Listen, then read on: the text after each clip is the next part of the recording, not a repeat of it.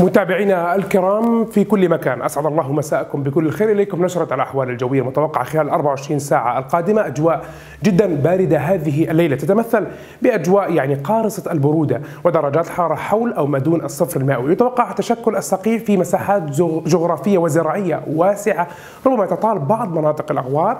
كما لا يستبعد هذه الليلة أن يتشكل الانجماد والجليد في العديد من الطرق المبتلة خاصة في طرق المرتفعات الجبلية. هذه الليلة تتراجع درجة الحراره في العاصمة العاصمة عمان إلى درجة مئوية واحدة تحت الصفر وأجواء قارصة البرودة في أغلب ومعظم مناطق المملكة. نهار يوم غد تستقر الأجواء لكن مع بقاء درجات الحرارة دون معدلاتها المعتادة لمثل هذا الوقت.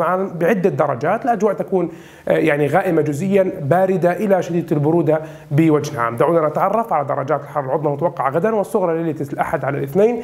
نبدأها شمالا من إربد 11 إلى 5 جرش 12 7 في عجلون 10 إلى 6 درجات وفي المفرق من 12 إلى 5 درجات مئوية المناطق الوسطى من المملكة تكون في عمان 10 5 السلط 11 6 مأدبة 12 6 البحر الميت 19 إلى 12 وفي الزرقاء من 13 إلى 7 درجات مئوية. المناطق الجنوبية من المملكة تكون في الكرك 11 5 الطفيلة 9 إلى 6 درجات معان عفوا معان 12 إلى 4 جبال الشراء من 8 إلى ناقص 2 وفي العقبة من 21 إلى 14 درجة مئوية. أما في المناطق الشرقية من المملكة تكون في رويشة 13 6 في الصفاوي 13 5 وفي الأزرق من 14 إلى 8 درجات مئوية.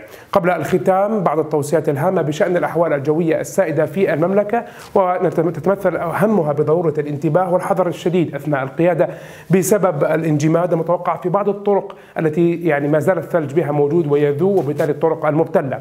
الأمر الآخر ضرورة انتباه من مخاطر الصقيع في المساحات الزراعية المختلفة من المملكة ودائما ندعوكم إلى مراعاة الاستخدام الآمن لوسائل التدفئة.